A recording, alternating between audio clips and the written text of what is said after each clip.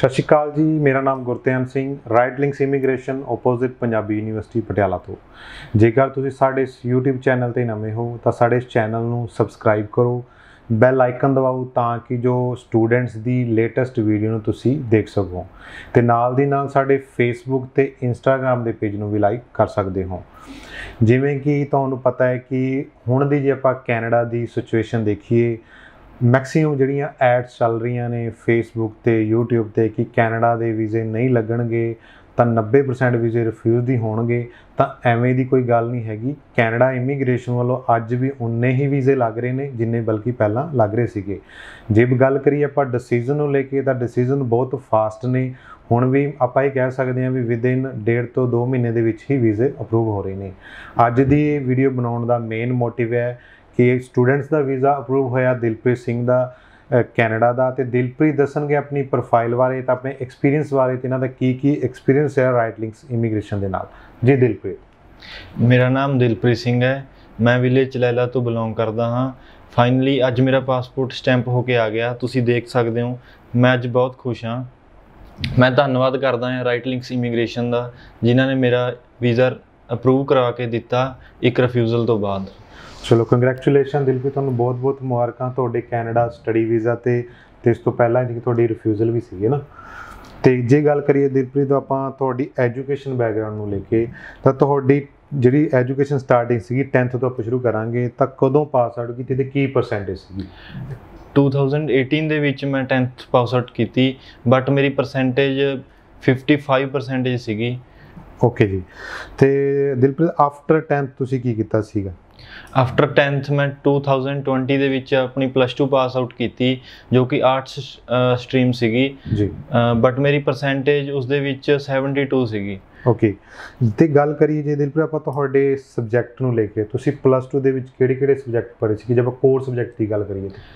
ਤੇ ਜਿਹੜਾ ਮੇਰੇ ਕੋਲ ਮੇਨ ਕੋਰ ਸਬਜੈਕਟ ਸੀਗਾ ਉਹ ਸੀਗਾ ਸਾਈਕੋਲੋਜੀ ਤੇ ਇਕਨੋਮਿਕਸ ਜਿਹਦੇ ਵਿੱਚ ਮੇਰੀ ਗੁੱਡ ਪਰਸੈਂਟੇਜ ਸੀਗੀ ਅਪ ਟੂ 70 ਜੀ। ਤੇ ਆਫਟਰ ਪਲੱਸ 2 ਤੁਸੀਂ ਕੀ ਕੀਤਾ ਸੀਗਾ? 2021 ਦੇ ਵਿੱਚ ਮੈਂ ਆਪਣਾ ਕੰਪਿਊਟਰ ਇੱਕ ਦਾ ਡਿਪਲੋਮਾ ਕੀਤਾ। ਜਿਸ ਦੇ ਵਿੱਚ ਵੀ ਮੇਰੇ 85% ਸੀਗੇ ਐਂਡ ਉਸ ਤੋਂ ਬਾਅਦ ਮੈਂ ਅ, 2021 ਦੇ ਸਤੰਬਰ ਵਿੱਚ ਮੈਂ ਆਪਣੀ ਆਇਲਸ ਪਾਸ ਆਊਟ ਕੀਤੀ ਵਿਦ ਓਵਰਆਲ 6.5 ਬੈਂਡਸ ਜੀ। ਯਾਨੀ ਕਿ ਤੁਹਾਨੇ ਪਹਿਲਾਂ ਹੀ ਪਲਾਨ ਕਰ ਲਿਆ ਸੀਗਾ ਵੀ ਮੈਂ ਕੈਨੇਡਾ ਹੀ ਅਪਲਾਈ ਕਰਨਾ ਹੈ ਨਾ ਹਾਂਜੀ ਹਾਂਜੀ। ਤੇ ਉਸ ਤੋਂ ਬਾਅਦ ਤੁਸੀਂ ਆਪਣਾ ਆਇਲਸ ਕੀਤੀ ਜਿਸ ਤੁਹਾਡੇ ਓਵਰਆਲ ਸਾਡੇ 6 ਬੈਂਡ ਸੀਗੇ। ਤੇ ਦਿਲਪ੍ਰੀਤ ਜੇ ਆਪਾਂ ਗੱਲ ਕਰੀਏ ਤੁਹਾਡੇ ਪਲਾਨ ਨੂੰ ਲੈ ਕੇ ਵੀ ਤੁਹਾਡਾ ਕਿਵੇਂ ਪਲਾਨ ਬਣਾਇਆ ਵੀ ਆਪਾਂ ਕੈਨੇਡਾ ਲਈ ਹੀ ਅਪਲਾਈ ਕਰਨਾ? ਤੇ ਰਾਈਟ ਲਿੰਕਸ ਬਾਰੇ ਕਿਵੇਂ ਪਤਾ ਲੱਗਿਆ ਆਪਾਂ ਫਾਈਲ ਮੂਰੇ ਤੋਂ ਪ੍ਰੋਸੀਡ ਕਰਵਾਈਏ ਮੈਨੂੰ ਰਾਈਟ ਲਿੰਕਸ ਬਾਰੇ ਮੇਰੇ ਕਜ਼ਨ ਨੇ ਦੱਸਿਆ ਜੀ। ਕਿ ਪਿਛਲੇ ਸਾਲ ਜਨਵਰੀ ਵਿੱਚ ਹੀ। ਵਿਨੀਪੈਗ ਗਿਆ university of Manitoba okay okay okay ਠੀਕ ਹੈ ਜੀ। ਤੇ ਦਿਲਪ੍ਰੀਤ, ਜਦੋਂ ਤੁਸੀਂ ਰਾਈਟ ਲਿੰਕਸ ਵਿਜ਼ਿਟ ਕੀਤਾ, ਤੇ ਤੁਹਾਨੂੰ ਕਾਉਂਸਲਿੰਗ ਦਿੱਤੀ ਗਈ ਹੋਣੀ ਰਾਈਟ ਲਿੰਕਸ ਦੀ ਟੀਮ ਵੱਲੋਂ, ਤੇ ਤੁਹਾਨੂੰ ਕਿਹੜੇ-ਕਿਹੜੇ ਕਾਲਜ ਦੱਸੇ ਗਏ, ਤੇ ਕਿੰਨੇ ਟਾਈਮ ਦੇ ਪ੍ਰੋਗਰਾਮ ਤੇ ਫਾਈਨਲੀ ਤੁਸੀਂ ਕੀ ਪਲਾਨ ਕੀਤਾ ਮੈਂ ਇਸ ਕਾਲਜ ਲਈ ਹੀ ਅਪਲਾਈ ਕਰਨਾ ਤੇ ਕਿਉਂ? ਮੈਂ ਰਾਈਟ ਲਿੰਕਸ ਤੋਂ ਪਹਿਲਾਂ ਵੀ ਕਈ ਕਾਫੀ ਇਮੀਗ੍ਰੇਸ਼ਨ ਆਫਿਸ ਵਿਜ਼ਿਟ ਕੀਤੇ ਬਟ ਮੈਨੂੰ ਹਰ ਇੱਕ ਨੇ ਹੀ 2 ਸਾਲ ਦਾ ਕੋਰਸ ਸੁਜੈਸਟ ਕੀਤਾ ਜਿਵੇਂ ਕਿ ਮੈਨੂੰ ਡਰਾਇਆ ਜਾ ਰਿਹਾ ਸੀਗਾ ਵੀ 1 ਸਾਲ ਦੇ ਕੋਰਸ ਵਿੱਚ ਵੀਜ਼ਾ ਬਹੁਤ ਘੱਟ ਆਉਂਦਾ ਹੈ। ਬਟ ਜਦੋਂ ਵੀ ਮੈਂ Right Links Immigration first time visit ਕੀਤਾ ਤਾਂ ਮੈਨੂੰ ਇੱਥੋਂ ਦੇ ਸਟਾਫ ਨੇ 1 ਸਾਲ ਦੇ ਕੋਰਸ ਬਾਰੇ ਦੱਸਿਆ ਤੇ ਮੈਨੂੰ ਭਰੋਸਾ ਦਿਵਾਇਆ ਵੀ 100% ਇੱਥੇ ਵੀਜ਼ਾ ਮਿਲ ਜਾਏਗਾ। ਜੀ।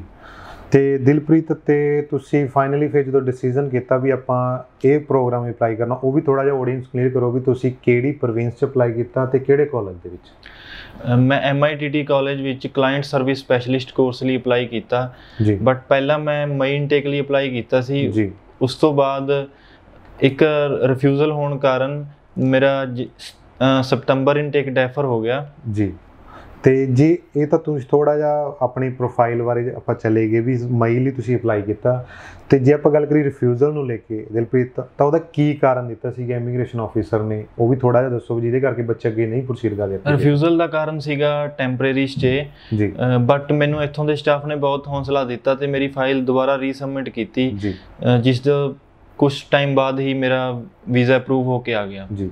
ਯਾਨੀ ਕਿ ਆਪਾਂ ਇਹ ਕਹਿ ਸਕਦੇ ਹਾਂ ਵੀ ਇੱਕ ਟਰਸਟ ਵੀ ਜਿੱਥੋਂ ਤੁਸੀਂ ਫਾਈਲ ਨੂੰ ਪ੍ਰੋਸੀਡ ਕਰਵਾ ਰਹੇ ਹੋ ਕਿ ਉਹਨਾਂ ਦਾ ਐਕਸਪੀਰੀਅੰਸ ਕਿੰਨਾ ਕੁ ਵਧੀਆ ਹੈ ਤੇ ਉਹ ਤੁਹਾਡੀ ਫਾਈਲ ਨੂੰ ਕਿਸ ਤਰੀਕੇ ਨਾਲ ਰਿਪਰੈਜ਼ੈਂਟ ਕਰ ਰਹੇ ਨੇ। ਆਪਾਂ ਇਸੇ ਇਹੀ ਗੱਲ ਕਵਾਂਗੇ? ਮੈਨੂੰ। ਰਾਈਟ ਲਿੰਕਸ ਇਮੀਗ੍ਰੇਸ਼ਨ ਦੀ ਟੀਮ ਤੇ ਬਹੁਤ ਟਰਸਟ ਸੀਗਾ ਜੀ। ਕਿ ਮੈਂ ਦੁਬਾਰਾ ਆਪਣੀ ਫਾਈਲ ਰੀਸਬਮਿਟ ਕਰਵਾਈ। ਕਿਉਂਕਿ ਆਪਾਂ ਜੇ ਗੱਲ ਕਰੀਏ ਵੀ ਰਿਫਿਊਜ਼ਲ ਦੇ ਕਾਰਨ ਕੀ ਹੋ ਸਕਦੇ ਨੇ ਵੀ ਤੁਹਾਡੇ ਹਿਸਾਬ ਨਾਲ ਵੀ ਕਿਉਂ ਰਿਫਿਊਜ਼ ਹੋਈ ਤੁਹਾਡੀ ਐਪਲੀਕੇਸ਼ਨ ਮੇਰੇ ਹਿਸਾਬ ਨਾਲ ਤਾਂ ਇੱਕ ਕਾਰਨ ਇਹੀ ਹੋ ਸਕਦਾ ਵੀ 10th ਦੀ ਪਰਸੈਂਟੇਜ। ਥੋੜੀ ਲੋ ਸੀਗੀ ਜਿਸ ਕਾਰਨ ਮੇਰਾ ਵੀਜ਼ਾ ਰਿਫਿਊਜ਼ ਹੋ ਗਿਆ। ਹਾਂ ਯਾਨੀ ਕਿ ਜਦੋਂ ਤੁਹਾਡੀ ਦੁਆਰਾ ਦੁਆਰਾ ਫਾਈਲ ਰਿਪਰੈਜ਼ੈਂਟ ਕੀਤੀ ਗਈ ਸੀਗੀ ਤਾਂ ਉਹਦੇ ਵਿੱਚ ਆਪਾਂ ਜੇ ਡਾਕੂਮੈਂਟੇਸ਼ਨ ਥੋੜਾ ਡੀਪਲੀ ਚਲੀ ਜਾਈਏ ਆਪਾਂ ਆਈ ਥਿੰਕ ਐਲਓਆਰ ਤੁਹਾਡੇ ਦੁਆਰਾ ਲਗਾਏ ਸੀ ਕੋ ਸਕੂਲ ਤੋਂ ਲੈ ਕੇ ਨਾ।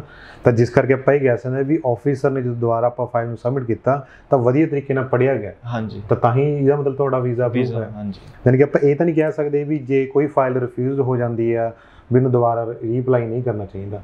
ਤੁਹਾਡਾ ਕੀ ਐਕਸਪੀਰੀਅੰਸ ਕੀ ਕਹਿੰਦਾ? ਕਿ ਤੁਹਾਡਾ ਤਾਂ ਵੀਜ਼ਾ ਅਪਰੂਵ ਹੋ ਚੁੱਕਿਆ ਹੈ। ਹਾਂ, ਮੇਰਾ ਐਕਸਪੀਰੀਅੰਸ ਇਹੀ ਆ ਵੀ ਜੇ ਬਾਈ ਚਾਂਸ ਕਿਸੇ ਦੀ ਫਾਈਲ ਇੱਕ ਵਾਰ ਰਿਫਿਊਜ਼ ਹੋ ਚੁੱਕੀ ਆ ਤਾਂ ਤੁਸੀਂ ਦੁਬਾਰਾ ਜ਼ਰੂਰ ਅਪਲਾਈ ਕਰੋ ਉਹਨੂੰ ਰੀਸਬਮਿਟ ਕਰੋ। ਕਈ ਵਾਰ ਐਵੇਂ ਹੁੰਦਾ ਵੀ ਕਈ ਬੱਚੇ ਹੌਸਲਾ ਛੱਡ ਜਾਂਦੇ ਨੇ ਜੀ। ਹੌਸਲਾ ਨਹੀਂ ਛੱਡਣਾ ਚਾਹੀਦਾ ਦੁਬਾਰਾ ਰੀਸਬਮਿਟ ਕਰੋ ਤਾਂ ਜੋ ਆਪਾਂ ਆਪਣਾ ਕੈਨੇਡਾ ਜਾਣ ਦਾ ਸੁਪਨਾ ਸਵੀਕਾਰ ਕਰ ਸਕੀਏ। ਜੀ। ਤੇ ਚਲੋ thank you so much Dilpreet ਤੁਹਾਡਾ। ਤੇ ਤੁਸੀਂ ਓਵਰਆਲ ਸਾਰਾ ਦੱਸ ਚੁੱਕੇ ਹੋ ਆਪਣੀ ਪ੍ਰੋਫਾਈਲ ਬਾਰੇ ਤੇ ਐਕਸਪੀਰੀਅੰਸ ਬਾਰੇ। ਤੇ ਲਾਸਟ ਦੇ ਵਿੱਚ ਆਪਾਂ ਗੱਲ ਕਰਾਂਗੇ ਇੱਕ ਇਹ ਰਾਈਟ ਲਿੰਕਸ ਦੀ ਸਰਵਿਸ ਉਹ ਤੁਹਾਨੂੰ ਕਿਵੇਂ ਦੀ ਲੱਗੀ? ਜਿਹਦੇ ਵਿੱਚ ਆਪਾਂ ਕਹਿ ਸਕਦੇ ਹਾਂ ਵੀ ਤੁਸੀਂ ਵਿਜ਼ਿਟ ਕੀਤਾ ਤੇ ਅਲੱਗ ਕੀ ਲੱਗਿਆ ਤੁਹਾਨੂੰ ਅਦਰ ਕੰਪਨੀਆਂ ਨਾਲ? ਉਹ ਵੀ ਥੋੜਾ ਜਿਹਾ ਡਿਫੈਂਡ ਕਰੋ। ਰਾਈਟ ਲਿੰਕਸ ਇਮੀਗ੍ਰੇਸ਼ਨ ਦੀ ਸਰਵਿਸ ਮੈਨੂੰ ਬਹੁਤ ਵਧੀਆ ਲੱਗੀ। ਜੋ ਮੇਨ ਪੁਆਇੰਟ ਆ ਇਹਨਾਂ ਦਾ ਸਾਰਾ ਕੰਮ ਆਨਲਾਈਨ ਪੋਰਟਲ ਤੇ ਹੁੰਦਾ। ਜਿਵੇਂ ਕਿ ਆਪਾਂ ਨੂੰ ਫालतू ਇੱਥੇ ਵਿਜ਼ਿਟ ਕਰਨ ਦੀ ਲੋੜ ਨਹੀਂ ਆ। ਜੀ।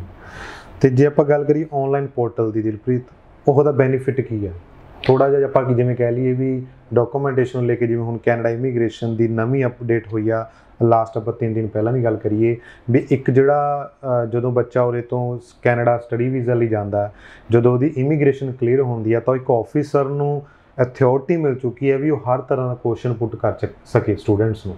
ਇਸ ਤੋਂ ਪਹਿਲਾਂ ਕੁਝ ਘੱਟ ਅਥਾਰਟੀਆਂ ਸੀਗੀਆਂ ਬਟ ਹੁਣ ਕਾਫੀ ਹੋਰ ਮਿਲ ਚੁੱਕੀਆਂ ਨੇ। ਤਾਂ ਆਪਾਂ ਇਹ ਕਹਿ ਸਕਦੇ ਹਾਂ ਵੀ ਜਿਹੜਾ ਹੁਣ ਤੁਹਾਡਾ ਆਨਲਾਈਨ ਪੋਰਟਲ ਸੀਗਾ ਜਿਸ ਤੁਹਾਡੇ ਸਾਰੇ ਡਾਕੂਮੈਂਟ ਸਬਮਿਟ ਹੋਏ ਨੇ ਜਾਂ ਤੁਸੀਂ ਆਪਣੇ ਐਂਡ ਤੋਂ ਸਬਮਿਟ ਕੀਤੇ ਨੇ ਜਾਂ ਰਾਈਟ ਲਿੰਕਸ ਵੱਲੋਂ ਤੁਹਾਨੂੰ ਪੋਰਟਲ ਦੇ ਡਾਕੂਮੈਂਟ ਮਿਲੇ ਨੇ ਉਹਦਾ ਕੀ ਬੈਨੀਫਿਟ ਮਿਲੂਗਾ ਤੁਹਾਨੂੰ ਉੱਤੇ ਜਾ ਕੇ?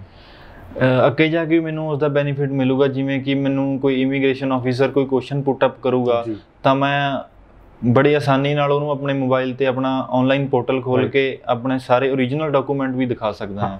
ਮਤਲਬ ਆਪਾਂ ਇਹ ਕਹਿ ਸਕਦੇ ਹਾਂ ਵੀ ਮੈਕਸਿਮਮ ਬੱਚਿਆਂ ਨੂੰ ਇਹੀ ਨਹੀਂ ਪਤਾ ਹੁੰਦਾ ਕਿ ਜਦੋਂ ਉਹਦਾ ਵੀਜ਼ਾ ਅਪਰੂਵ ਹੋ ਚੁੱਕਿਆ ਤੇ ਉਹਦੀ ਡਾਕੂਮੈਂਟੇਸ਼ਨ ਕੀ ਲੱਗੀ ਸੀਗੀ।